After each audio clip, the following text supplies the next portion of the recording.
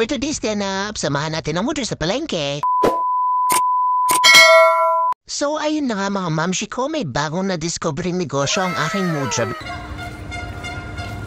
Mauno ka kataman to. Ah, New Year.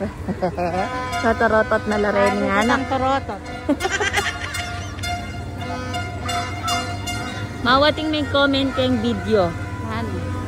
Sabi na ot kataba ng mamo. Oh no! Oh, ya. Kaya ka, ma kaya ka matadilagilan.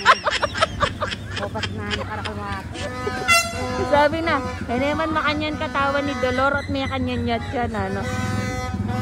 Masyado ka mataramadilan. Kaya. Opat na nakarakal mo dapat ate. Tapos, hmm, hmm, dapat kaya. Nana, sabi mo kayo ito. na? Ano?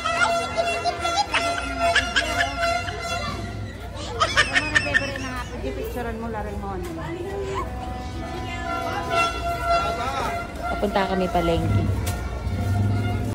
Dito kami sa palengke, ayan, may nagawa yung sarili ng, ayan, may nagpandun yung sarili ng business. Ito may nagawa yan, ang puto-puto, special puto na, pa-order na this coming January 1. Fairness mga mamshi ko, nakakabilib naman itong aking mojo bells. Nakagawa na siya ng bago niyang recipe, ngayon ibibenta niya na raw.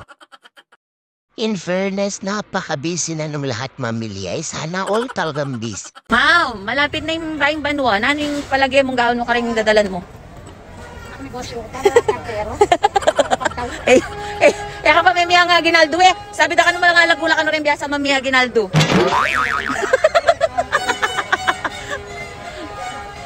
Nano rin gawin mong negosyo? Para ka ng puto. Man-order na kayo. Man-order kayo ng puto. Special. Nano yung kanta yung puto? Yung puto mo? Puto cheese at ang puto buro. Puto cheese. Puto cheese at saka puto buro. Oh, pwedeng pwede kayo man-order ha. Bagong recipe ng mother. Ayan. Nagawang ka lang. May order kayo. Oh, mga mamshis, para sa ngayong ano na to ha, bagong taon. Ayan, bagong taon, bagong business. Feel na feel na talaga ang New Year dito. Pero bago yun, kain muna tayo dito sa tusok-tusok sa may kalsada.